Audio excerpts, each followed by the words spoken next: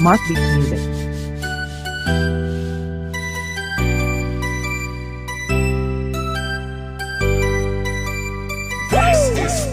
This is the man DJ Mark.